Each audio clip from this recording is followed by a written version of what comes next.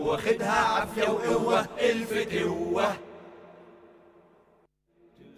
واحدة من أقدم المهن في التاريخ إلى جانب النجارة وبعض المهن الأخرى.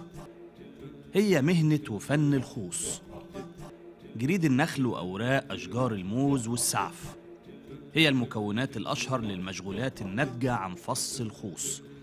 خفيف متين وكان موجود منه قطع في كل بيت.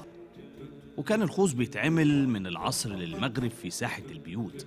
يتجمع أفراد العيلة ويتشاركوا صناعة المشغولات بعد ما كان بيبقى في حد بيعدي عليهم بيت بيت يعمل لهم ويمشي. علشان كل بيت يعمل شغله بنفسه. اللي بيعملوا سبت عيش واللي بيعملوا سبت غسيل وسبت بحبل ينزلوه من البلكونات. وغيرها حاجات كتير مختلفة متنوعة بتتعمل من الخوص. هل حد فيكم افتكر قطعة في بيته أو بيت عيلته من الخوص؟ الفتوة ياللي انت عامل لي فتوة